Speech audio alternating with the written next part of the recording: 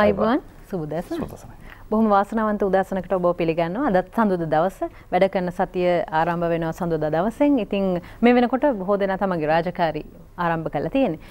කොයි හැටි වෙතත් මේ පැය තුන නම් අපි ඔබත් එක්ක බොහොම ආදරෙන් එකතු වෙන්න බලාපොරොත්තුෙන් ඉන්නේ. ඔබත් පුළුවන් හැටියකට අපිත් එක්ක එකතු වෙන්න ඉඩකඩ වෙන් කරගන්න කියලා උදාසනින්ම අපි ආරාධනා කරනවා. නුගසනත් එක්ක එකතු වෙන ඔබට හරවත් වූ යහපත් වූ දේවල් අපි ලබා දෙනවා කියලා ඔබ දන්නවා. යතරේදී ඔබේ ජීවිතයට ශක්තියක් එකතු කරගන්න, ආර්ථිකයට ශක්තියක් එකතු කරගන්න පුළුවන් දේවල් වලට වැඩි ඉඩ කඩක් අපි ලබා දීලා තියෙනවා. වසුන්තරට අදහසක් නැද්ද ව්‍යාපාරයක් එහෙම ආරම්භ කරන්න? තියෙන ව්‍යාපාරයක් දියුණු කරගන්න ධනංජයට අදහසක් තියෙනවා මටත් ඉතින් ඔය පුළුවන් කාලෙක එකක් ආරම්භ කරගන්න හරි දැන් ව්‍යාපාර ආරම්භ කරලා ටික දවසක් ව්‍යාපාරයක් නෑ අපි හිතමු යම් කිසි කටයුත්තක් අපි ආරම්භ කරනවා අපි ඉලක්කයක් තියාගෙන ඉන්න අපේ කරන කටයුත්ත ඉතා සාර්ථක ලෙස ඉදිරියට පවත්වාගෙන යන්න ඕනේ කියලා. හැබැයි අපිට විවිධ අවස්ථාවන් වලදී විවිධ බාධක එනවා. බාධක අපව මොකද කරන්නේ?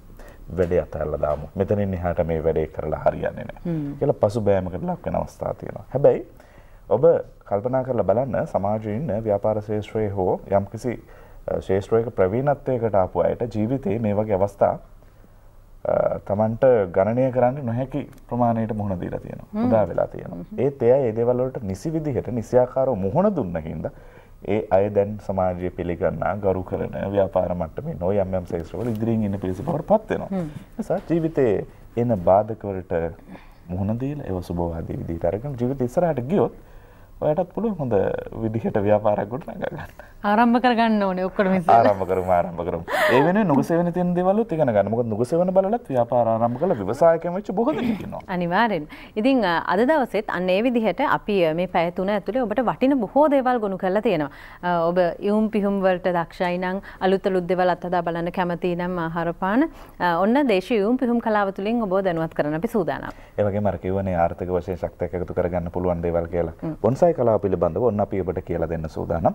ලොකු ඉල්ලුමක් තියෙන නිර්මාණාත්මක හැකියාවක් ඔබට කියලා දෙන්න බලාපොරොත්තු වෙන්නේ. ඒ නිසා රැඳලා ඉන්න ලොකු ආර්ථික වටිනාකමක් එකතු කරගන්න පුළුවන්. හොඳයි ඊළඟට අපි කතා කරනවා දැන් රූපලාවන්‍ය කියන්නේ එක මොහොතින් මොහොත අලුත් වෙන කලාවක්. මේක බොහොම හොඳින් හදාරන්න ඕනේ. ඉතින් ලෝකයේ අලුත් වෙන මේ තාක්ෂණයත් එක්ක රූපලාවන්‍ය හොඳින් හදාරන්න ඔබ කැමති වුණාට සමහර වෙලාවට ආර්ථික අපහසුතාව වලින් පෙළෙනව වෙන්න පුළුවන්. අන්න එවැනි අය වෙනුවෙන් රූපලාවන්‍ය ශිෂ්‍යත්ව 100ක් ලබා දීමේ කතාවක් තියෙනවා. ඔබ අපිත් එක්ක රැඳිලා හිටියොත් එහි තොරතුරු දැනගන්න පුළුවන්. දැන් අපි සති ගණනාවක ඉඳලා වසුන්දර කතා කරගෙන එනවා මේ සමාජයත් එක්ක අපි කොහොමද කටයුතු කරන්න ඕන මනෝවිද්‍යාත්මක කාරණා කොහොමද තියෙන්නේ ඕන කියන කාරණය ගැන. මෙතනදී අපි විවිධ මාතෘකා අරගෙන කතා කළා දරුවන්ගේ මානසිකත්වය කොහොමද පවත්වා ගන්න ඕනේ වැඩිහිටියන් මොන විදිහට තියෙන්න ඕනේ මේ කියනක. සමාජ බීතිකාව ගැන උන්නද අපේ නුගසෙවන ඇතුලේ කතා කරන්න බලාපොරොත්තු වෙනවා මේ කියන කාරණාවත් එක්ක. ඔව් මෙවැනි බොහෝ දේ අපි ගොනු කරලා තියෙනවා මේ පැය තුන ඇතුලේ. ඒ වගේම අමතක කරන්න එපා පළවෙනි පැය ඔබේ සෞඛ්‍ය ගැනයි අපි කතා කරන්නේ. ඒ වගේම වෙනද වගේ අර අනුමාන කිරීමකුත් තියෙනවා. අද මොකක්ද? ඔව් රූප රාමු පෙළක් තියෙනවා. එහි කොටසක් තමයි අපි මුලින් ඔබට පෙන්වන්නේ. එහි අවසානයේ කුමක් වේද කියලා ඔබට පුළුවන් අනුමාන කරන්න. එහෙම අනුමානයක් ඔබට තියෙනවා නම් කතා කරන්න 0112 50 16 10 අපේ දුරකථන අංකය ඔන්න දැන් ඉඳන් විවෘත කරලා දීලා තියෙන්නේ. අපි බලලිමු.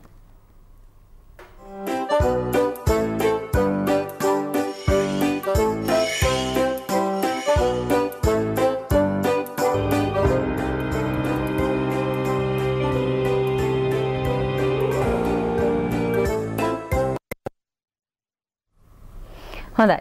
දැන් ඔන්න අදහසක් තියෙනවානේ. අවසානයේ මොකක් වෙයිද? හිතනවා නම් අනුමානයක් තියෙනවා නම් 0112 50යි 16යි 10 අපේ දුරකථන අංකය. ඒ දුරකථන අංකයට කතා කරලා පිළිතුරු කියන්න පුළුවන් හරි විදියට. හොඳයි.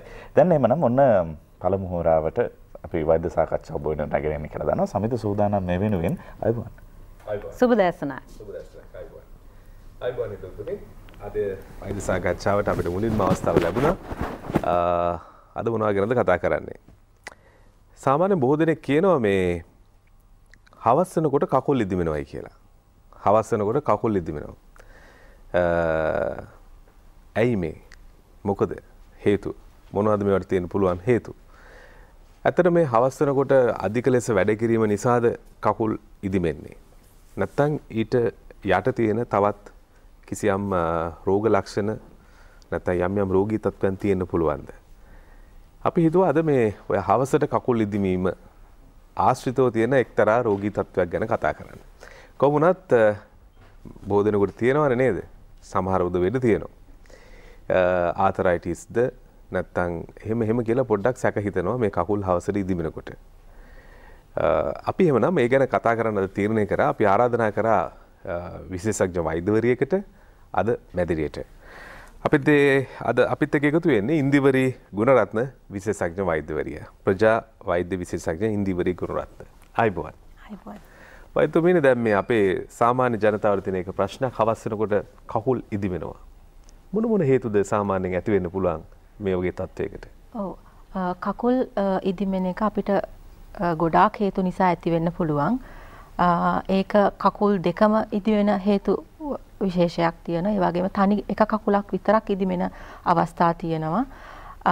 ඒකට විශේෂයෙන්ම අපි ගොඩක් අය දන්න දේවල් තමයි හෘද රෝග නිසා මිනිසුන්ගේ කකුල් ඉදිමෙන්න පුළුවන්. මොකද හෘදය ශක්තිමත් මදි තමන්ගේ පරයන්ත ඒ එකතු වෙන රුධිර තරලය හෘද වස්තුව වෙත ගෙන එන්න. ඒ වගේම වකුගඩු අමාරු, එතකොට අක්මාව ආශ්‍රිත රෝග, ඒ වගේම සමහර අයගේ පිළිකා නිසා එක එක රුධිර සංසරණ පද්ධතිය එක එක අවස්ථා බ්ලොක් වෙන නිසා, ඒ වගේ හේතුන් නිසා, ඒ වගේම සමහර අයගේ උප්පත්තියෙන්ම වසා පද්ධතිය කියලා අපේ පල්ලෙහා එකතු වෙන තරලය ගෙන යන පද්ධතියක් තියෙනවා. ඒ තරලය ඒ වසා පද්ධතියේ දුර්වලකමක් නිසා උප්පත්තියෙන්ම සමහර අයගේ ඒ වගේ හේතුන් නිසා තරලය එකතු වෙන්න පුළුවන්. ඒක නිසා කකුල් ඉදිමෙනවා. ඒ වගේම මොන හරි ඇක්සිඩන්ට් එකක් වෙලා හරි මොන හරි කකුලට යම් හානියක් වුණොත් එතන ඒ ස්ට්‍රක්චර් එක පොඩ්ඩක් වෙනස් වෙන නිසා කකුල ඉදිමෙන්න පුළුවන්. ඔව් මේ වගේ හේතු කීපයක් තියෙනවා. දැන් සාමාන්‍යයෙන් ඔය අපි ඔය රබර් සෙරප්පු දෙකක් එහෙම දැම්මහම ඔය කකුල් ඉදිමෙන උදවියගේ හවසට අර රබර් සෙරප්පේ උඩ දාරේ පටිය හොඳට කකුලේ එබිලා අපිට දකින්න හම් වෙනවා. ඒකෙන් තමයි අපි තේරුම් ගන්න ටිකක් කකුල ඉදිමිලයි කියලා. එහෙම නැත්නම් පොඩ්ඩක් ඔබලා බැලුවාම ඇතුළට හැම ඇතුළට යනවා. නිකන් වලක් වගේ. තව ටිකකින් ඒක නැවත යථා තත්ත්වයට එනවා. ඉතින් මේ විදිහට පොඩ්ඩක් අර කකුල ඉදිමෙන ස්වරූපයක් තියෙනවා. දැන් බලන්නකො මෙන්න මේ වගේ සාමාන්‍යයෙන් ඔය සෙරප්පුව දැම්මන් පස්සේ හවස ඔය සෙරප්පුවේ පටියේ ධාරේ ওই විදිහට ටිකක් ඇතුළට කිඳා බහැලා අපිට දකින්න පුළුවන් කකුලේ. දැන් වෛද්‍යතුමනි මේ සාමාන්‍යයෙන් ওই කකුල ඉදිමුණයි කියලා අපිට දැනෙන්නේ ටිකක් කකුල සමහරට බර ගතියක් දැනෙන්න පුළුවන්. ඇත්තටම ඉදිමිලාද කියලා බලාගන්නේ කොහොමද? මෙහෙමයි. කකුල ඉදිමෙන එක අපිට ඔය පටියකින් ඒ කියන්නේ හවස් කාලේ ඉදිමෙන එකේ දක්වා ලොකු අපි අහලා තියෙනවා අපි කවුරුත් හිතන්නේ නැති හේතුවක් තියෙනවා කකුල් ඉදිමෙන්න බරවා කියලා රෝගයක්. ඒ වගේ අපි දන්නවා බරව කකුලක් කිව්වම අපිට එකපාරට ඔලුවට එනවා ලොකු ගෙඩි ගෙඩි එල්ලෙන තුවාල වෙච්ච ගඳ ගහන ඒ වගේ කකුලක් දක්වා ලොකු පරාසයක මේ කකුල් ඉදිවීම අපිට දක්වන්න පුළුවන්. ඕ දැන් එතකොට කකුල් ඉදිවීම ගැන කියනකොට දැන් වෛද්‍යතුමේ කිව්වා දැන් හදවත් රෝග තියෙන්න පුළුවන් සමහර වෙලාවට ඇක්සිඩන්ට් එකක් නිසා නැත්නම් හදිසි අනතුරක් නිසා කකුලේ ව්‍යුහය වෙනස් වීමක් වෙන්න පුළුවන්. එහෙම නැත්නම් හදවත් රෝග ඒ වගේම වකුගඩු වල ප්‍රශ්න වෙන්න පුළුවන්. අක්මාවේ ප්‍රශ්න වෙන්න පුළුවන්. වසා පද්ධතිය යම් යම් ගැටලු වෙන්න පුළුවන්. නමුත් කකුල් ඉදිමේන තව එක හේතුවකුත් තියෙනවා. ඒක තමයි දැන් වෛද්‍යතුමේ කිව්වේ. එක හේතුවක් ඒක තමයි බරව. සාමාන්‍යයෙන් අපි හිතන්නේ නැහැ මේ කකුල් ඉදිවීමට ওই වගේ පොඩි පොඩි ඉදිවීම් වලට බරව රෝගය හේතු වෙන්න පුළුවන් කියලා. සාමාන්‍යයෙන් බරව කිව්ව ගමන් අපේ මතකෙට ඉන්න අර විශාල කකුලක්. මෙන්න මේ වගේ කකුලක් බලන්න. මේ තියෙන්නේ මෙන්න මේ ප්‍රමාණයේ විශාල කකුලක් තමයි ඉදිමුණු තුවාල සහිත දුර්ගන්ධයෙන් යුතු කකුලක් තමයි අපිට බරව රෝගය කිව්ව සැනින් මතක් වෙන්නේ. නමුත් දැන් වෛද්‍යතුමිය කියනවා අර ආරම්භයේදී පුංචි ඉදිමීමක් වෙන්නත් පුළුවන්. අර සෙරපුවේ පටිය ඉදිමුවක් විතරක් දක්නට ලැබෙන්න පුළුවන්. ඊළඟට ටික කලක් යනකොට උදේටත් කකුල ඇඳෙන් බහින වෙලාවට ඉදිමුම අඩු වෙලා නැහැ. උදේවරුවෙත් ඉදිමුම තියෙනවා. තව ටිකක් කල් යනකොට මේ ඉදිමුම තව ටිකක් වැඩි වෙලා හැමේ නැමුම් එන්න පටන් ගන්නවා. සහ හැමේ කකුලේ තියෙන හැම කළු පැහැවෙලා සමය වෙනස්කම් ඇති වෙනවා. තව ටිකක් කල් යනකොට තමයි කකුලේ ඉදිමිලා අර ලොකු අලි කකුලක් බවට පත් වෙන්නේ. ඔව් ඒකට කියන වචනය මොකද්ද? එලිෆැන්ටයිසිස්. එලිෆන්ටයිටිස්. ඒ කියන්නේ විශාල අලියෙක්ගේ වගේ කකුලක් තත්ත්වයට පත් වෙලා තියෙනවා. මොකද ඉදිමිලා ඉදිමිලා ඉදිමිලා තරලේ එකතු වෙලා. ඉතින් බලන්න දැන් බරව රෝගී තත්ත්වය අපි නොහිතුවට පුංචි දිවීමකින් ඉතා විශාල භයානක රෝගී අපහසුවක් දක්වා ඒ රෝගියාට ඇති වෙන්න පුළුවන් විශාල කකුලක් ඒක ඔහුගේ දෛනික කටයුතු සඳහා අධික ලෙස ඍණාත්මක සාධකයක් විදිහට බලපානවා. හොඳයි. එතකොට එහෙනම් අපි අද පොඩ්ඩක් කතා කරලා දැනගමු බරව රෝගය ගැන. කකුල් ඉදිමීම ගැන කතා කරලා ප්‍රධාන වශයෙන්ම කකුල් ඉදිමීමට හේතු වන එක සාධකයක් තමයි බරව රෝගය. බරව රෝගය කොහොමද හැදෙන්නේ වෛද්‍යතුමනි? බරව රෝගය හැදෙන්නේ අපේ මදුරුවෙක් මගින් අපේ ඇඟට ශරීරගත කරනවා පොඩි පණු පැටියෙක්ව. ඒ පණුව ශරීරගත වෙලා ඒ පණුව අපේ වසා පද්ධතිය ගමන් කළා වසා පද්ධතිය කියන්නේ ඊටාම සියුම් නාල ගොඩකින් හැදිච්ච පද්ධතියක්. ඉතින් මේ පද්ධතියේ තියෙන සියුම් නාල සියල්ල අවහිර වීම නිසා තමයි මේ කකුල් ඉදීම සහ බරවා රෝගය හැදෙන්නේ. ඔබතුමා එක දැන් මදුරුවෙක් ඇතුළු කරන්නේ අපේ ඇඟට පුංචි පණු පැටියෙක්. පණු පැටියෙක්. පුංචි පණු පැටියෙක් තමයි අපේ බරව පණු පැටියෙක් තමයි ඇත්තටම පණුවෙක් කුඩා පණුවෙක් තමයි මේ මදුරුවා අපේ ඇඟට ඇතුළු කරන්නේ. අපි ඔබ දැකලා තියෙනවද බරව මදුරුවා? බරව මදුරුව දැකලා තියෙනවද? බලමු මේ රූපරාමයෙන් අපිට දැක ගන්න පුළුවන් ඒ කොහොමද බරව මදුරුවෙක් සාමාන්‍යයෙන් අපි හඳුන බරව මදුරුව කී දෙනෙක් විතර ලංකාවේ ඉන්නවද? කියන්නේ වර්ග වර්ග වර්ග දෙකක් තියෙනවා. අපේ ඇත්තටම බරවා රෝග වර්ග දෙකක් තියෙනවා ලංකාවේ. එකක් තමයි බැන්ක්‍රොෆ්ටියන් බරවා එකක් තියෙනවා වෘචරේරියා බැන්ක්‍රොෆ්ටි කියන පරපෝෂිතයා මගින් බෝ වෙන්නේ අනිත් එක බෘගියා මලයි. ඔව් ඔව්. හොඳයි. එතකොට ඒ පණුව දෙන්න ගෙනියන්නේ එකක් කියුලෙක්ස් ක්වින්කි ෆැසියේටස් කියන මදුරුවා මගින් සහ බෘගියා මලායි කියන පරපෝෂිතයා ගෙනියන්නේ මැන්සෝනියා මදුරු විශේෂය මගින්. එතකොට දැන් මදුරු වර්ග දෙකක් ඉන්නවා ප්‍රධාන වශයෙන්ම.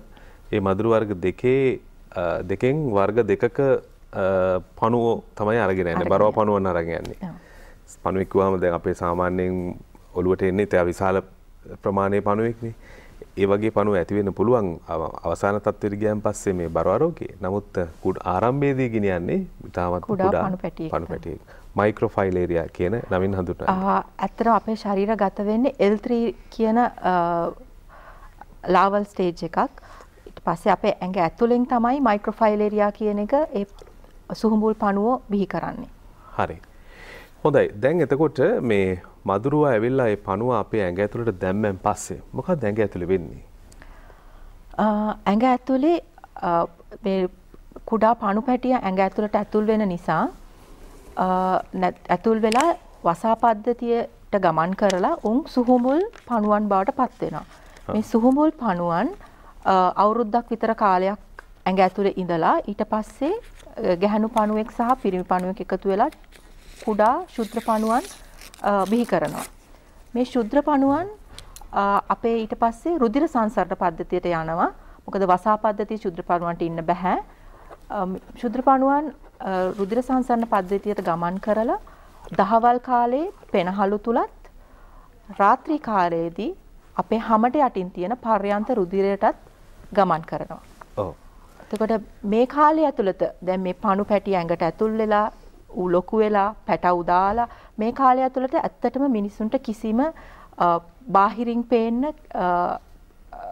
රෝග ලක්ෂණයක් නැහැ. ඊට පස්සේ ටික කාලයක් ගියයින් පස්සේ මේ ලොකු පණුව මැරුණයිත් පස්සේ තමයි කකුල් ඉදිමෙන්න රෝග ලක්ෂණ පෙන්눔 කරන්න පටන් ගන්න. එතකොට හැබැයි ඒ කාලේ වෙනකොට ගොඩක් පරක්කු වැඩි. මොකද ශුද්‍ර පණුවන් ඇඟ ඇතුලේ ඉන්න කාලෙම අපිට හඳුනා ගන්න පුළුවන් නම් එතකොට අපිට කලින් පුද්ගලයන් හඳුනගෙන ඔවුන්ට ප්‍රතිකාර කරලා අර භයානක කකුල් ඉදිමීමේ තත්ත්වය දක්වා වර්ධනය වෙන එක නවත්තන්න පුළුවන්. හොඳයි. දැන් ඇත්තටම මදුරුවෙක් බෝ වෙන තැන් අපි දැනගන්න අවශ්‍ය වෙන ඔය විශේෂයෙන්ම බරව මදුරුවා බෝ වෙන තැන්. බරුව බරවා මදුරෙක් ඒ යම් යම් තැන්වල තමයි විශේෂ තැන්වල තමයි බෝ වෙන්නේ. මොන වගේ තැන්වලද මේ බරව මදුරුවා බෝ වෙන්නේ? බරව මදුරුවා බෝ වෙන්නේ ඇත්තටම කුණු වතුරේ. ගොඩාක්ම අපිරිසිදු ජලය එකතු වෙච්ච තැන්වල තමයි බර මේ මදුරුව බෝ වෙන්නේ. කියුලෙක්ස් මදුරුවා ඊට පස්සේ තව මදුරුවෙක් ඉන්නවානේ මැන්සෝනියා කියලා. ඒ මදුරුවා බෝ වෙන්නේ ජලජ පැලෑටි සහිත ජලාශවල. ඔව් ඔව් ඔව්. හරි. එතකොට දැන් මොන මොන දැන් අපිට උදාහරණ ඉතියොත් එහෙම අපේ ගෙවත්ත ගත්තොත් අපේ ගෙවත්ත ආශ්‍රිතව මොන තැන්වලද මේ මధుර බෝ වෙන්න පුළුවන්? ගොඩක්ම වෙලාවට දැනට තියෙන තත්ත්ව අනුව කැඩිච්ච ටොයිලට් පිට්ස් තියෙනවා නම් ඒ ටොයිලට් පිට්ස් ඒ හොඳම කුණු වතුර එකතු වෙන ස්ථානයක් මදුරුවන්ට එතකොට ඒ වගේ ඒවයි බිත්තර දාන්න හොඳම එන්වයරන්මන්ට් එකක් තියෙනවා. එතකොට කැඩිච්ච ටොයිලට් වලවල් තමයි විශේෂයෙන්ම නිවාශාස්ත්‍රිතව තියෙන්නේ සහ බ්ලොක් වෙච්ච කාණු තියෙනවා නම්. ඔව්. දැ මේ තියන්නේ මේ තියන්නේ මදුරවා ඇත වශයෙන් මේ මදුරවා බිත්‍රදාන රූපයක් ඔබට දකිින් ලැබෙන නේද වයිතම සාමනෙන් අපි දැම කතා කර කර හිටියේ ප්‍රධාන වශයෙන් මේ මදුරවා බෝවෙන ස්ථාන. මේ වගේ තැන්. මේ සාමාන්‍යෙන් පල් වුණු වතුර ගලාගෙන යන තැන් කානු නගරාශ්‍රිතව ගොඩක් ඔය කානු බ්ලොක් වෙලා තියෙනවනම් මේ වගේ තැන්වල තමයි කිව්ලෙක්ස් මදුරුවා බිත්තර දාන්නේ. ඒ වගේම පොල්ලෙලි වලවල්. ගොඩක් වෙලාට ගාල්ල මාතර ප්‍රදේශවල ඉස්සර ඉඳන් පොල්ලෙලි පල් කරනවා. ඒගොල්ලන්ගේ කොහු කර්මාන්තය තිබුණා. ඒ වගේ වෙලාවට ওই පොල්ලෙලි වලවල් වල මදුරුව ඒක හොඳම කුණු වතුර එකතු වෙන තැනක්. ඒ වගේ තැන් තමයි මේ තමයි කැඩිච්ච වැසිකිලි වලවල් මේ කුඩා සිදුරේ මදුරට පුළුවන් ඇතුල් වෙලා වැසිකිලි වලට බිත්තර දාලා ඔව් සාමාන්‍යයෙන් අපි වැසිකිලි වල වහලයි තියෙන්නේ කියලා හිතුවට යම් යම් තැන්වල පුංචි සිදුරු ඇති වෙලා තියෙන්න පුළුවන්. ඒ සිදුරු වලින් මදුරුව ඇතුළට ගිහිල්ලා පල්වුණු වතුරේ බිත්තර දානවා. බිත්තර දාලා දහස් ගණනින් මදුරුවන් බෝ වෙනවා. ඒක විශේෂයෙන්ම සැලකිලිමත් වෙන. දැන් ඔබත් අද දවසේ ඔබේ ගෙදර ගෙවස් ගෙවත්තේ යම් යම් තැන් තියෙනවා නම් ඔය පල් වෙන වතුර එකතු වෙන තැන්. ඒ තැන්වල විශේෂයෙන්ම ඔය මේ වැසිකිලි වලවල් වල සිදුරු තියෙනවා නම් ඒ සිදුරු සිමෙන්ති ටිකක් දාලා වහන්න ඕනේ. සිමෙන්ති ටිකක් දාලා වහන්නත් පුළුවන් නැත්නම් පස් ටිකක් දාලා වහන්නත් පුළුවන් මේකේ තව රූප දෙක තුනක් තිබුණා මේ වැසිකිලි වලවල් වල සමහර ප්‍රදේශවල අර වගේ සිදුරක් තියලා තියෙනවා මේ ඒක ඇතුලේ තියෙන වාතය එළියට නිදහස් වෙන්න. එතකොට මේ වගේ තැන් පුළුවන් අපිට පොඩි net එකකින් වගේ වහන්න පුළුවන්. මදුරන්ට ඇතුල් වෙන්නේ නැති වෙන්න. මදුරන්ට ඇතුල් වෙන්නේ නැති වෙන්න. හොඳයි. දැන් ඇත්තටම මේ මදුරුවෙක් බිත්තර දාන ප්‍රමාණය දහස් ගානක් දානවා නේද මදුරෙක් ඇවිල්ලා. ඒක නිසා අපිට මේක පාලනය කරගන්න හරි අමාරුයිනේ.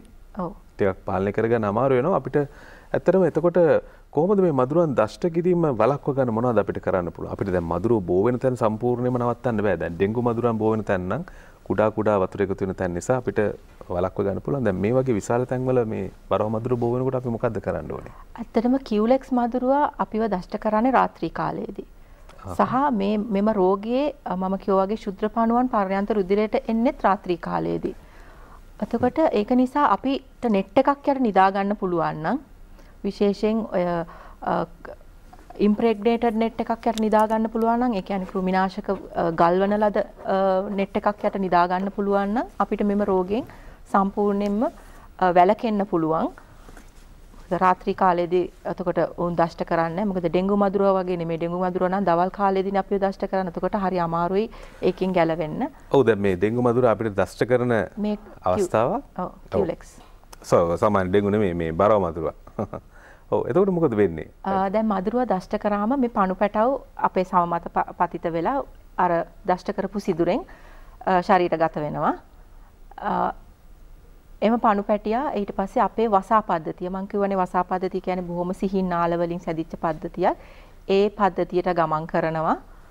ගමන් කරලා ඔවුන් සුහුඹුල් පණුවන් බවට පත් වෙනවා.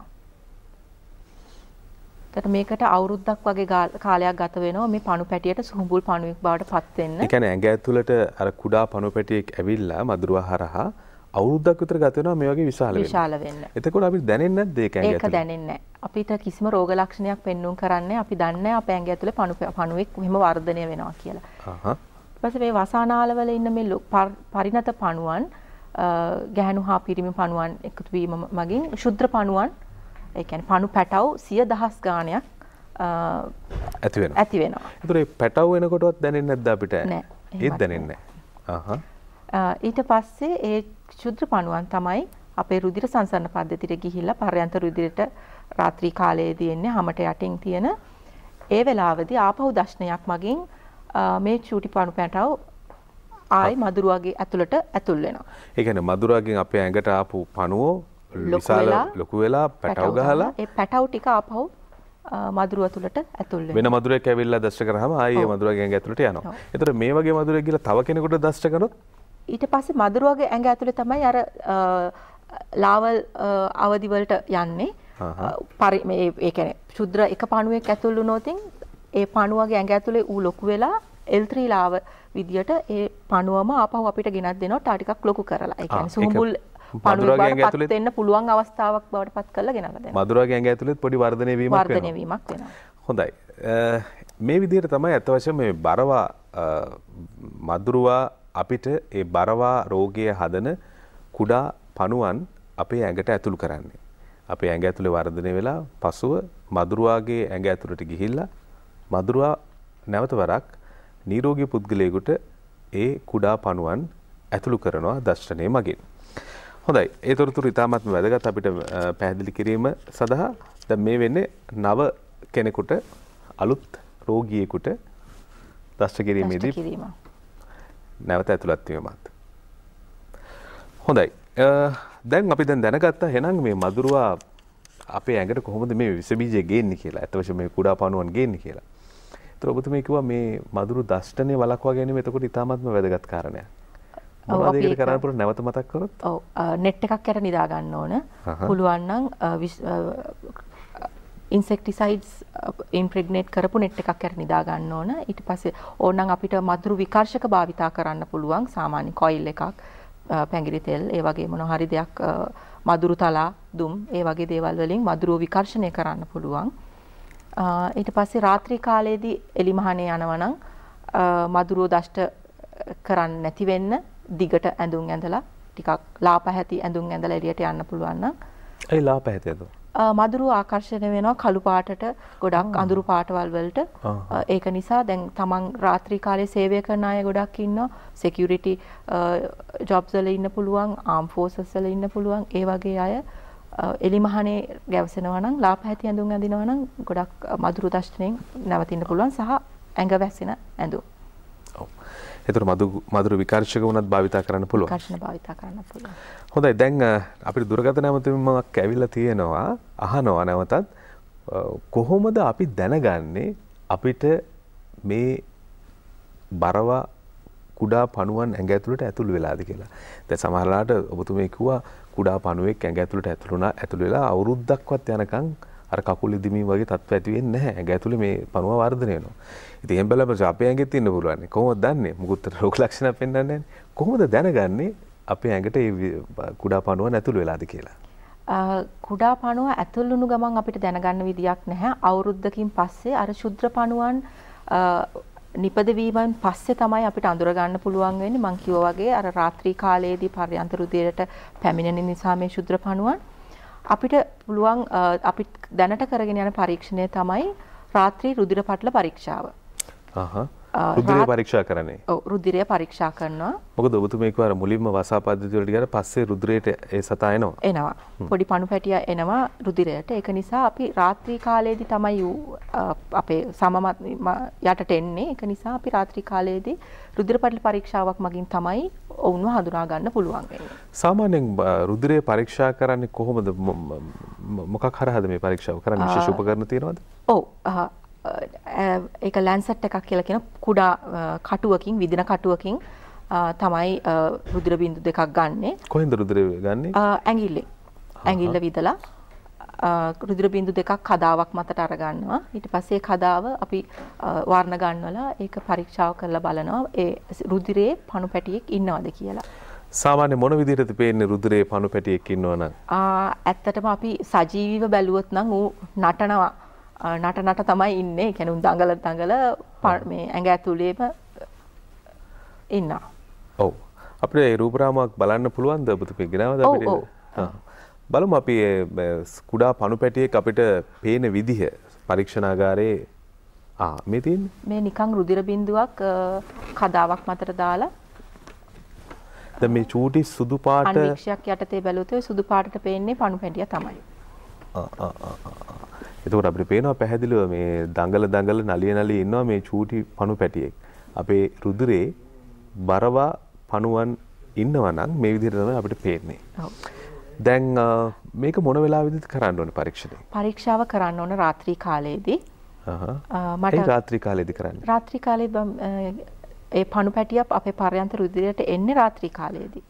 ඒක නිසා අපි රාත්‍රී කාලයේදී තමයි ලේ සාම්පලයක් ගන්න ඕන රුධිර සාම්පලයක්. මේ සඳහා අපේ විශේෂ නිලධාරීන් ඉන්නවා. ඔවුන් ගෙයින්ගෙට ඇවිල්ලා රුධිර පරීක්ෂාව කරනවා. අපේ ශේත්‍ර නිලධාරීන් කාණ්ඩ දෙකක් ඉන්නවා. මහජන සෞඛ්‍ය ශේත්‍ර නිලධාරීන් සහ මහජන සෞඛ්‍ය පරීක්ෂකවරු. ඔව් මේ ඉන්නේ මහජන සෞඛ්‍ය මහජන සෞඛ්‍ය පරීක්ෂක නිලධාරීන් සහ ක්ෂේත්‍ර නිලධාරීන් ඉන්නවා. ක්ෂේත්‍ර නිලධාරීන් ඉන්නවා. මොවුන් මොවුන්ගේ නිල ඇඳුමින් සැරසිලා රාත්‍රී කාලයේදී බරවා බහුල ප්‍රදේශවල රාත්‍රී රුධිර පටල පරීක්ෂා වැඩසටහන් කරගෙන යනවා. මෙහිදී ඇත්තටම මට මතක් කරන්න ඕන අපි හැමතිස්සෙම පාවිච්චි කරන්නේ එක පුද්ගලයෙකුට එක විදින කටුවක් පමණයි. ඒක ජීවාණුහරණය කරන ලද ඊටාම සෞඛ්‍ය ආරක්ෂිතව අපේ සෞඛ්‍ය අමාත්‍යාංශයේ ගෙන්වන ලද විදින කටුවක් තමයි භාවිතා කරන්නේ. මේ තියෙන ඒ වගේ රුධිර ගන්න වැඩසටහන් මේවා මේ වැඩසටහන් අපි දිගටම බරවා බහුල ප්‍රදේශවල කරගෙන යනවා. ඇත්තටම අපි මේ ගෙයින් ගෙට යන්න හේතුවත් මේ වගේ කුඩා දරුවන් එහෙම අරගෙන රාත්‍රී කාලයේදී ක්ලිනික් එකකට ඇවිල්ලා රුධිර පටලයක් දෙන්න අමාරුයි පොඩි අය රැට නිදා ගන්නවා අපේ පරීක්ෂාව කරන්නේ රැට ඒක නිසා තමයි අපේ ශේෂ්ත්‍ර නිලධාරීන් ඔබතුමාලගේ ගෙදරටම ඇවිල්ලා එම පරීක්ෂාව කරන්නේ හොඳයි දැන් පරීක්ෂණය කරන්නේ රාත්‍රියේ ඒකට හේතුව තමයි දබල්වරුවේ කරාට වැඩක් නැහැ අර ඉන්න ශුද්‍ර පණුවන් රුධිරයට එන්නේ රාත්‍රී කාලේ නිසා. ඒතකොට දවල් වරුවේ කොහෙද ඉන්නේ පණුව? දවල් වරුවේ ඉන්නේ පෙනහළු තුල. පෙනහළු තුල ඒක නිසා තමයි සමහර අයට ඒ පෙනහළු වල සිටීම නිසා වියලි කැස්සක් වගේ රෝග ලක්ෂණයක් තියෙනවා. ඒ වගේම තමන්ගේ රුධිරේ තියෙන ඉයසිනොෆිල් කියන රුධිර සෛල ප්‍රමාණය එතකොට වැඩි වෙනවා. එතකොට ඉයසිනොෆිල් කවුන්ට් එක වැඩි නම් සහ වියලි කැස්සක් තියෙනවා නම් කල්පවතින ඒකටත් හේතුව බරවා විය හැක. කැස්සක් දිගු කල් තියෙනවා නම් වියලි කැස්සක් සමහර වෙලාවට බරව වෙන්න පුළුවන්. වෙන්න පුළුවන්. හොඳයි. දැන් එකවරක් බරව රෝගය හැදුනොත් අපි තුන් බෙහෙත් දීලා හොඳ කරොත් නැවත වරක් ඒ රෝගේ එකම කෙනාට හැදෙන්න පුළුවන්ද? පුළුවන්. ආපහු මදුරුවෙක් ඒ ප්‍රදේශයේ මදුරුව ගොඩක් ඉන්නවා නම් ඒ මදුරුවන්ගේ ඇඟ ඇතුලේ ලාවල් ස්ටේජස් තියෙනවා නම් ඒ මදුරුව ආපහු දෂ්ට කිරීමෙන් ආපහු අපිට බරවා රෝගය ඇති වෙන්න පුළුවන්. හොඳයි. දැන් බරවා රෝගය සඳහා හේතු වෙන්නේ කුඩා පණුවෙක්. ඒ පණුවා කියන්නේ මදුරුවෙක්. කිව්ලෙක්ස් කියන මදුරුවා. මේ මදුරුව හඳුනගන්න එහෙම දැනගත්තොත් ඒක හොඳයි නේද ටිකක් සාමාන්‍යයෙන් අපිට විශේෂයෙන් හඳුනගන්න පුළුවන් මදුරුව සාන බරව මදුරුව කිව්ලෙක්ස් මදුරුව එහෙම පාටේ වෙනසක් එහෙම තියෙනවා ඔව් ඇත්තටම කිව්ලෙක්ස් සහ මැන්සෝනියා කියන අපේ බරවා රෝගය ගෙන යන මදුරුවන් දුඹුරු පාට මදුරුව පෘෂ්ඨයට සමාන්තරව තමයි වාඩි වෙන්නේ වහලා ඉන්නේ. ඉතින් ඒක ඒක ඇත්තටම හඳුනා ගැනීමේ අවශ්‍යතාවයක් නැහැ. මේ රාත්‍රී කාලයේදී තමයි දෂ්ට කරන්නේ. අපිට ඉතින් මధుරව මధుරව බලලා අපිට විශේෂයෙන් හඳුන ගන්න ලොකු දැනුමක් අවශ්‍ය වෙන්නේ නැහැ. නමුත් රාත්‍රී කාලයේ දෂ්ට කරනවා නම් බොහෝ වෙලාවට අපි නෙට් එකක් කර නිදා ගන්නවා නම් ඇත්තටම මේ රෝගයෙන් අපිට මේ ගැලවෙන්න පුළුවන්. දැන් කෙනෙක් අහන්න පුළුවන් දැන් යම් යම් රෝග දැන් අපි හිතමු යම් යම් රෝග තියෙනවා හැදෙන්න කලින් ප්‍රතිශක්තියක් ඇඟ ඇතුලේ හදාගන්න පුළුවන්. බරව රෝගය හැදෙන්න කලින් මොකක් හරි එන්නතක් විදගෙන ආරක්ෂා වෙන්න පුළුවන්ද? ඇත්තටම එහෙම ක්‍රමයක් නැහැ. හැබැයි දැන් ඔය මදුරු ඔය එන්ඩමික් ඒරියාස් වල ඔය බරවා බහුල ප්‍රදේශවල ජීවත් වෙන මිනිස්සුන් හැමෝම මේ මදුරුවන්ට එක්ස්පෝස් වෙලා තියෙනවා. එනට සමහරුන්ට තමයි ඇත්තටම ඇඟ ඇතුලේ අර ලොකු පරපෝෂිත ප්‍රමාණයක් ඇඟට ඇතුල් වුණොතින් තමයි රෝගය වර්ධනය වෙන්නේ ඇඟ ඇතුලේ. එහෙම නැතුව තමන්ගේ ඇඟෙන්ම ප්‍රතිශක්තිය මගින් ඒක පාලනය වෙලා ඉන්න අය ඉන්නවා. මෙම එන්ඩමික් ඒරියාස් වල. රෝගය බහුලව තියෙන ප්‍රදේශවල ඒ රෝගය සඳහා නිරාවරණය වුණාන් පස්සේ ඇඟ ඇතුළෙන්ම ප්‍රතිශක්තියක් හැදිච්ච උදවියක් ඉන්නවා. හැදිච්ච ඉන්නවා. ඔව් ඒකින්ද වෙන්නේ කෙනෙක්ගේ කකුල අර විශාල කකුලක් දක්වා වර්ධනය වෙනත් තව කෙනෙක් එහෙම නොවෙන්නත් හේතුව. ඔව්. නමුත් එහෙම කියලා අපිට පරීක්ෂා නොකර ඉන්න එක ඉතා භයානක. මොකද කෙනෙක්ගේ ඇඟ ඇතුලේ තියෙනවා නම් ඒ කුඩා පණුවන් අර ඔබතුමිය මුලින් කිව්ව විදිහට තව කෙනෙකුට බෝ වෙන්නත් පුළුවන්. බෝ වෙන්න පුළුවන්. මොකද්ද ලංකාවේ තියෙන වැඩපිළිවෙල මේ බරවා රෝගී මර්ධනය කරන්නේ? රාත්‍රී රුධිර පටල පරීක්ෂාව තමයි අපේ තියෙන වැඩපිළිවෙල විශේෂයෙන්ම අපි කරන්නේ. මොකද අපි ගාව රෝගීන් කාණ්ඩ දෙකක් ඉන්නවා. එකක් තමයි නිරෝගී පුද්ගලයා. ඒ කියන්නේ ඇඟ ඇතුලේ පණුව තියාගෙන කිසිම රෝග ලක්ෂණයක් පෙන්වන්න නැතුව නිරෝගීව ඉන්න කොටසක් ඉන්නවා. ඊට පස්සේ මදුරු පණුව ඇඟ ඇතුලේ අවුරුදු ගාණක් තිස්සේ තියාගෙන ඉඳලා අර වසා පද්ධති ඔක්කොම ඩැමේජ් වෙලා ඔක්කොම හිර අවහිර වෙලා ඊට පස්සේ වසා තරල එකතු වීම නිසාම කකුල් ඉදිමිච්ච තව රෝගීන් කොට්ටාශයක් ඉන්නවා. එතකොට මේ කාණ්ඩ දෙකම බලාගන්න එක තමයි අපේ ක්‍රමවේදය වෙන්නේ. එතකොට මයික්‍රෝෆයිලේරියා ඇඟ ඇතුලේ ශුද්‍රපාණුව ඇඟ ඇතුලේ ඉන්න අයව හඳුනා ගන්න තමයි අපි ඔය රාත්‍රී රුධිර පටල පරීක්ෂා වැඩසටහන දියත් කරගෙන යන්නේ. ඊට පස්සේ කකුල් ඉදිමුණු අයට විශේෂයෙන් අපි ගාව අපි සායන පවත්වනවා මේ එන්ඩමික් ඒරියාස් වල බරවා බහුල ප්‍රදේශවල ඒ සායනවල අපි ඔවුන්ගේ කකුල අර පොඩි ඉදුමේ සිට අලි කකුල දක්වා වර්ධනය වෙන එක වළක්වා ගන්න සියලුම ප්‍රතිකාර දෙනවා සහ පාද සුරකීමේ විශේෂ පුහුණුවක් ලබා දෙනවා ඔවුන්ට අපේ සායනවලින්. හොඳයි. දැකලා තියෙනවද මදුරුවෙක් බිත්තර දාන විදිය? මදුරුවෙක් බිත්තර දාන විදිය දැකලා තියෙනවද? එක දිගට බිත්තර දාගෙන දාගෙන යනවා. හොඳයි. ඒක තමන් තව සුළු මොහොතකින් ඔබට පෙන්වන්නම්. කොහොම වුණත් දැන් මේ බරවා රෝගිය තුලින් ආරක්ෂා වීම සඳහා අපි දැනුවත් වීම ඉතාමත්ම වැදගත් වෙනවා. වෛද්‍යතුමිය අද අපිත් එක්ක එකතු වෙන්නේ බරවා මර්ධන ව්‍යාපාරයේ ප්‍රජා වෛද්‍ය විශේෂඥ ඉන්දිවරි ගුණරත්න වෛද්‍යතුමිය අපිත් එක්ක එකතු වෙන්නේ. බොහෝ දෙනෙක් අහනවා මේ බරවා රෝගය තියෙනවා නම් ඇඟ ඇතුලේ තියෙනවද දන්නෙත් නැහැ. ඒ සඳහා පරීක්ෂණ මොනවද? ඒකට උත්තරයක් තමයි ලැබුණේ. පරීක්ෂණය තමයි රාත්‍රී රුධිර පරීක්ෂාව. මේ රාත්‍රී රුධිර පරීක්ෂාව රජයේ කණ්ඩායමක් මගින් පමණද කරන්නේ නැත්නම් පෞද්ගලික අංශෙත් තියෙනවද? රජයේ කණ්ඩායමක් මගින් පමණයි කරන්නේ. අපේ නිලධාරීන් ඔවුන්ගේ රාජකාරී නිල ඇඳුමින් සැරසිලා රාජකාරී හැඳුනුම්පත සහිතව තමයි ගෙයින් ගෙට ගිහිල්ලා මේ රුධිර පරීක්ෂාව කරන්නේ. දැන් අපිට ගෙදරට එනකන් ඉන්නේ නැතුව අපිට සැකයක් තියෙනවා නම් මේ පැත්තේ බරවත් වැඩි ඒක නිසා කෝකටත් හොඳයි ගිහිල්ලා ලේ පරීක්ෂා කරගන්නේ කියලා එහෙම අපිට ගිහිල්ලා තැනකින් පරීක්ෂා කරගන්න පුළුවන්. එහෙම ක්‍රමවේදයකුත් තියෙනවා. අපේ ක්ලිනික් රාත්‍රී රුධිර පටල එකතු කිරීමේ සායන පැවැත්වෙනවා. කොහෙද තියෙන්නේ? ඒකත් අපේ බරවා බහුල ප්‍රදේශවල ඒ ප්‍රදේශවල ඉන්න වෛද්‍ය නිලධාරී කෙනෙක් ඉනෝ රීජනල් මෙඩිකල් ඔෆිසර් කෙනෙක් ඉන්නවා අපේ ඒ දිස්ත්‍රික්ක 8ක් අපේ තමයි බරව තියෙන්නේ. ඒ දිස්ත්‍රික්ක 8 ඉන්නේ නිලධාරීන් සායන පවත්වනවා. ඒ තැනකට ගිහිල්ලා වුණත් ටෙස්ට් කරගන්න පුළුවන්. දැන් මේ ගැන තොරතුරක් එහෙම දැනගන්න විශේෂ දුරකථන අංකයක් එහෙම තියෙනවද? ඔව් අපේ දුරකථන අංක මම ස්ලයිඩ් එකක දාලා තියෙනවා. ඒක පෙන්වන්න පුළුවන්. හොඳයි. අපිට ඔබට අපි මේ දුරකථන අංක ඉදිරිපත් කරන්නම්. බරවා රෝගයේ සඳහා පරීක්ෂණ කර ගැනීමට ඔබ යා යුතු ස්ථාන ගැන දැනගන්නට අවශ්‍යයි. අවශ්‍ය උදවියට ඒ තොරතුරු ඒ දුරකථන ඔස්සේ ලබා ගන්න පුළුවන්. තව මොහොතකින් ඒ දුරකථනය මන්තිරයේ ඔබ වෙනුවෙන් ඉදිරිපත් කරන්න.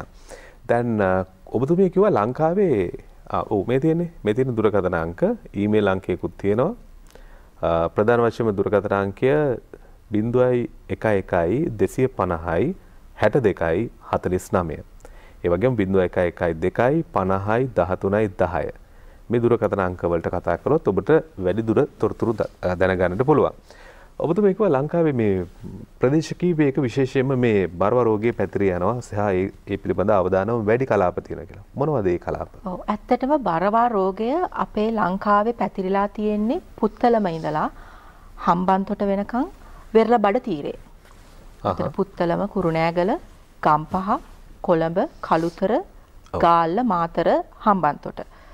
එයිනොත් දැන් අපි ගොඩාක්ම ලංකාවේ බරවා රෝග තත්ත්වය පාලනය කරලා තියෙන්නේ. ඒකෙන් දැන් දැනට අපිට තාම අවදානම් ප්‍රදේශ කීපයක් ඉතුරු වෙලා තියෙනවා විශේෂයෙන්ම ගාල්ල දිස්ත්‍රික්කයේ. එතකොට ගාල්ලයි ගාලට අමතරව කළුතර මාතර ඒ කියන්නේ ගාල්ල දෙපැත්තේ තියෙන දිස්ත්‍රික්ක දෙකෙත් තියෙනවා. මේ තමයි අපේ බරවා පැතිරී තියෙන දිස්ත්‍රික්ක 8 පළාත් තුනක පැතිරිලා තියෙනවා. දැන් ගාල්ල දිස්ත්‍රික්කේ ගත්තමත් ගාල්ල සෞඛ්‍ය වෛද්‍ය නිලධාරී කොට්ටාශ 20ක් තියෙනවා. ඒකිනුත් කිහිපයක තමයි තාමත් මේ බරවා රෝගය පැතිරෙමින් පවතින්නේ. ඇයි මේ වෙරළබඩ ආශ්‍රිතයම මේ රෝගය පැතිරෙන්නේ? ඇත්තටම කුණු කුණු වතුර එකතු වෙන පොල්ලෙලි කර්මාන්තය සහ ඒ කියුලෙක්ස් මදුරුවා බ්‍රීඩිං වෙන තැන් වැඩි කලාපයක් තමයි සහ ජනගහන වර්ධනය ගොඩක් බලපානවා අපි දන්න විදිහට ලංකාවේ ජනගහනය 50%ක්ම ජීවත් වෙන්නේ මේ දිස්ත්‍රික් අටේ. හොඳයි. දැන් ඒ ආශ්‍රිතව ටිකක් අර කුණු වතුර පල් වෙන වතුර අපවිත්‍ර ජලය එකතු වන ස්ථාන වැඩිවීම මේ රෝගයේ පැතිරීම සඳහා එක හේතුවක් කියලා කිව්වා. කොහොමද ඒ වගේ තැන්වලට මදුරුවෙක් ඇවිල්ලා වහලා ඒ මදුරුවා බිත්තර දාන විදිහ පාර පටිගත කරපු දර්ශනයක් අපි ළඟ තියෙනවා. බලමු. මේ තමයි මදුරුවෙකු බිත්තර දාන විදිහ. වයිතුමනි තා විශාල බිත්තර ප්‍රමාණයක් එකවර දානවා. ඔව්. මේ තමයි අපේ කියුලෙක්ස් මදුරුවා දුබුරු පාට මදුරුවෙක්.